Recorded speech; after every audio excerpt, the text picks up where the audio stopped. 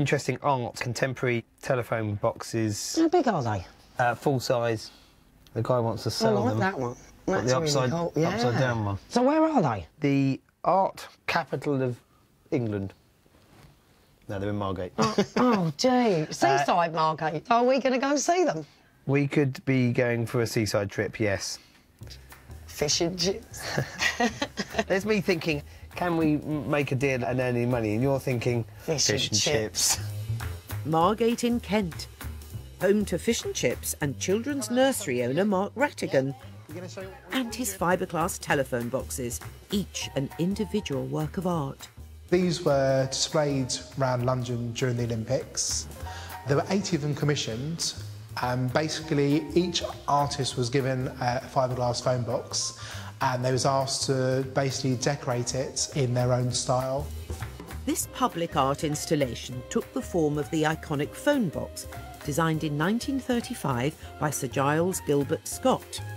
They were decorated by leading British artists, including Peter Blake and Stuart Semple, who has been likened to pop art legend Andy Warhol. They stand at eight feet tall and three feet wide. The Stuart Semple one is uh, one of my favourites. I like the vibrancy of it, and I like I like the roughness of it. After the Olympics, all 80 telephone boxes were sold at auction in aid of a children's charity. I put reserves on seven of the boxes, but unfortunately people weren't that generous on the bidding, so I ended up winning all seven of the boxes. Mark gave one box to his dad, but now he wants to sell the other six. Good girl. How's mummy? He once earned a living as a Prince William lookalike, but today runs a children's nursery and has plans to open his second. But something is standing in his way. They're very big. I haven't got space for all six of them. We need to raise extra funds, so I thought I could kill sort of two birds in one stone by trying to sell the items off and raise some money to then reinvest in finishing the nursery school off. Mark paid £5,000 for his arty phone boxes, and now he has called in Nathan and Debs to see if he can make a decent return. But as ever, you are the one being spoiled. And coming on this wet, grey, blustery, cold day with me to Margate. Wicked. Can't wait. I really do look after you. They've bought and sold art before, but nothing as big as this. Oh, blimey. Hi guys, you alright? Hi, Mark. I'm Nathan. Hello, this is Nathan. Debbie. Hi. Hiya. Nice to Hello, meet Debbie. you. Nice Nice to meet you, my darling. What do you think? I think they are really impressive. They're different, aren't they? They are quite something. Do you know who did what box? Yeah, this was done by an artist called Stuart Semple. Well, He's quite a well-known yeah, artist. Yeah, this is one of my favourite boxers. But as Nathan takes a closer look, he has growing concerns. I think they're really funky, but there's a difference between funky and easily disposable, valuable, sought after, and not a complete logistical nightmare and headache. Any idea what you're looking for? I've got a sort of ballpoint figure. The thing is, we- we've just taken on, on this building, and what we're trying to do is to open another nursery, but to specialise for children with special needs. And so obviously now we're sort of uh, trying to pull money from everywhere to try and try and get the place up and running. To help do up the new nursery, Mark wants a decent return on his £5,000 investment. Give me a couple of days. Yeah. Work out whether I'm going to be able to place them. Fantastic. All right. All Lovely. the best. Thank- thanks for so down much. Nice to meet you. With storage space costing money, if Nathan is to do a deal, he'll need to sell them all on quickly, or profit could soon turn to loss. We're either going to find a home for them very, very easily, or probably not at all. Yeah, but they definitely need somewhere they're going to get showing off. Oh, of course. You know. They've got our work cut out. It's a high risk venture, but can Mark's high art get him the cash he needs to expand his nursery? Down in London, Nathan and Debs are back on the hunt for a buyer for six phone box art pieces. They definitely need somewhere they're going to get showing off. They've got our work cut out. Owner Mark Rattigan needs to sell them to fund the opening of his second nursery. We're on a deadline, but it depends on if I can sell these art boxes. Nathan has called in Tim Shaw to assess the box's value and saleability. He's an artist and consultant who deals with offbeat art for wealthy clients. I need someone that's going to give me an opinion on them commercially, and, and that really has to be someone that's in the know, and Tim's in the know. First up, a box by painter Andrew Hewkin. The artist's love of exotic hot countries is clear in the design. It's probably the most decorative of the pieces. It's very bright. It would look good in someone's garden, which is definitely a selling point. But the box which has really caught Tim's eye is by the popular British artist Stuart Semple. Semple once used an auction website to sell 3,000 everyday drawings for a total of £100,000. It's an interesting piece and it's very contemporary. There's imagery from websites and computers.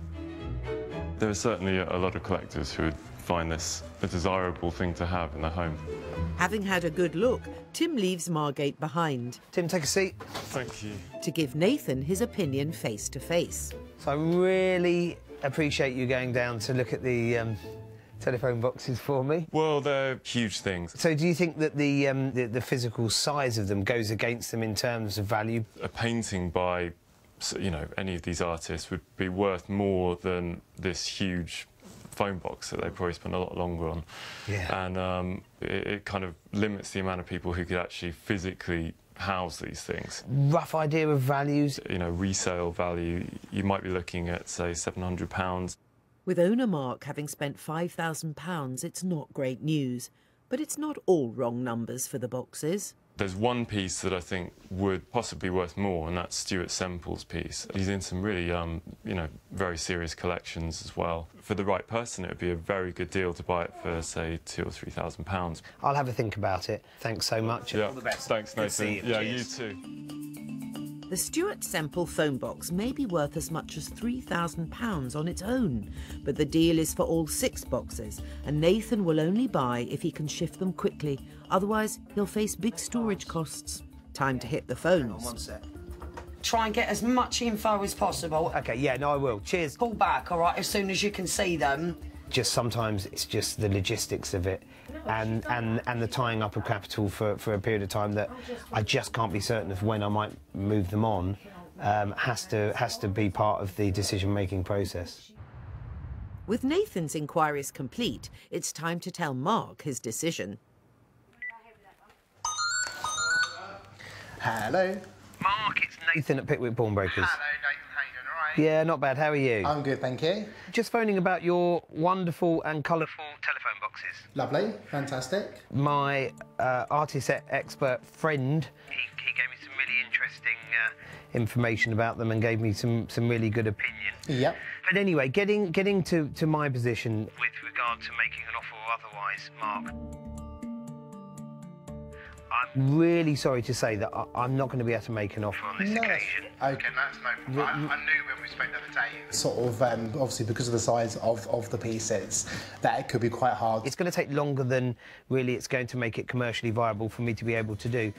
But there is some good news. Specifically on the Stuart Semple piece, a lot of his work is in some, some very serious collections, including sort of celebrity collections. Yeah. So- and some of his work is, uh, is, is running into five figures. Stuart Semple particularly does sell a lot of digital work online. It could be, you know, quite easy one of the online auctions to, to, to sell the piece. You know, you re- really could achieve a great price. But Yeah.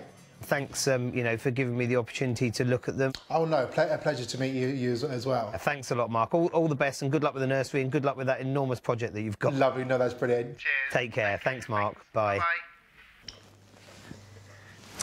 Well, so I've still, still got all my telephone boxes.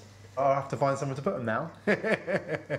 Really great things, but win some, you lose some. Oh, we ain't getting a phone box now. I reckon he'll find a buyer, and I reckon he'll make a small fortune. Because the art world, isn't it? One minute they're worth nothing, next minute they're worth a fortune.